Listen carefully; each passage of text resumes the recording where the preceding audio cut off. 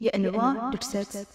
አንዲት ብላቴና ከእናት እቅፍ ተለይታ የአባቷን ክንድ ምርኩዝ ትታ ካፍላነት ወቅት ተነጥላ ለእናት መዳን በመቅደስ እልፍኝ ከሰው ተለይታ ከዓለም ፍልስፍና ርቃ በወግ በማዕረግ ከሰማይ ታጭታ ስትጠበቅ ነበረች። ትንቢት ተፈጽሞ እውነት እስኪፈታ የመዳን ድርሰቱ የብስራቱ ዜና በእርሷ ተከተበ። የሰላሳ ሶስት ዘመን እንባ ታሪክ ተነበበ። ከክብር ለራቅን ከእግዜር መሻት ለጎደልን በታሪኳ ስንቱን መርዶ ላስነበብን። ከቤተልሔም ዋሻ እስከ ቀራንዮ የፈሰሰ እንባ የተሰማ ወዮ። የልጅ ወግ ሊደርሰው በሥርዓት አይሁድ ሊቀ ካህን ልጇ በካህን ሊገዘር ቤተ መቅደስ ቢሄድ ትንቢታዊ መርዶ ለጆሮዋ ሲቃ ያቃጭል ጀመረ። በአንድያ ልጇ ሰይፍ በነፍሷ እንዲያልፍ ተብሎ ተነገረ። ከዚህ ቀን ጀምሮ ለዓይኗ እረፍት የለውም ለልቧም እፎይታ፣ አንድ ልጇን ማጣት ሆኖባት መቆም ለልቧ ትርታ።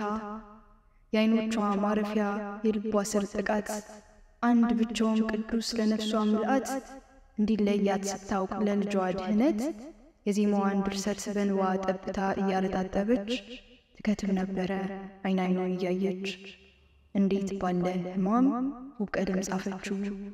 ለሰው ልጅ ድህነት ዕድሜን የሰጠችው ስደትን ታግሳ በግብፅ በረሃ የገረፋት ወበቅ የኮቲዋ ክፋት ያሳቀቃት ስለ ንጽሕናዋ ነግ በደመና ሐዘኗን ደብቃ በግብፅ በረሃ እንደ አዋፍ ከንፋ የሰለሞን ዘር አንበሳ ልጇን ያዳነችው ውስጠቷን ተገፋ። አብርሃም ይስሐቅን እንደ አምላኩ ትእዛዝ ሊሰዋ ለሦስት ቀናት ያክል የጭንቀቱ መጠን ምን ሊደርስ ካዘኗ ለሰላሳ ሦስት ዘመን ተሸክማ ጭንቀት ተሟግታ ካንጀቷ ዕድሜ ላትገድበው ጊዜንም ላትረታው ለቀራንዮ ሙሽሯ ጊዜ ጀግና መች ይረታና ጊዜ ታማኝ መሽቀርቱ ያውቅና? ዕለተ ዓርብን አልዘነጋምና? ከስደቷ መልስ ያልተለያት ስጋት።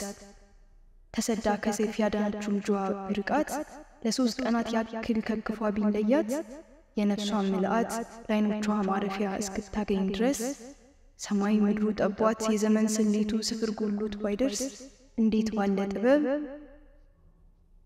አስታርቃ ካንጀቷ ለባዊነት መራት በንጽሕት ነፍሷ በታተሙ መዝገብ በንባዋ ቀለማት ብዕርን ጨብጣ ቀለሟን አርጥባ የጻፈችው ድርሰት ሆነልን ድህነት።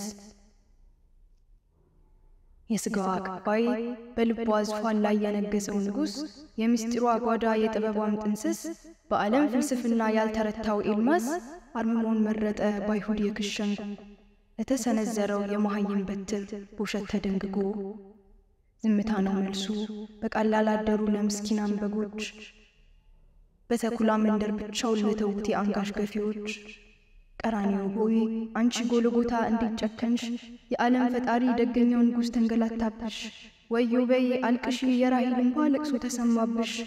በደል እንዳለበት መጥፎ እንደሠራ ሰው በሸንጎ ገትረሽ አጥንቱ እስኪቆጠር ሕማም የታገሰው አርባ ለገረፉት ስቅለት የማይሰጡት አይሁድ ሥርዓታቸው ያልበደለን መሲህ ገርፈው ሰቀሉት ሕጋቸውን ሽረው ቢያውቁትም ቅል የፈጸሙት በደል የእንባዋ ማዕበል ያደረጉበት ግፍ ያሴሩበት ሴራ ለአንድ እናቱ ቁስል በዓለም ጥበባት መዝገብ የሰፈሩ የምስጢር ቀለማት ፍጥረት መሆናቸው ሊረዳ ተነሳቸው እውቀት።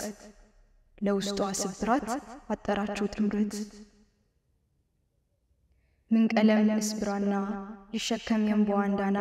ዓለም ናት ከርሰ ጣዕምሽ የተለያት ብዑሬ ጽሟን የቱስ የውበት አድማስ እልፍኝ ድርሰቷን ታድሎ አስቀመጠ በፍኝ የቱስ መዝገብ ነው ወይ ታሪኳን ያጠና? የጭንቀቷን ቅኔ ለማንበብ የጸና? እንደ ዮሐንስ ማነው ስንጥቃቷን አይቶ ምርኩዝ የሆነላት? ማንም ያልተረዳው የምስጢሯን ቅኔ በንስራኞቹ የመረመረላት ማነው? ማነው የታደለ? ልቦናው በርቶለት ድርሰት ያነበበ? በማርያም ልቦና የታጠረን ጥበብ ሰርጎ ይዘገበ በቀራንዮ ነው ወይ ወይስ በገሊላ? የእንባዋ ማዕበል ሲሰፈር መላ በንጽሕት ነፍሷ በታተሙ መዝገብ በእንባዋ ቀለማት? ብዕርን ጨብጣ ቀለሟን አርጥባ የጻፈችው ድርሰት?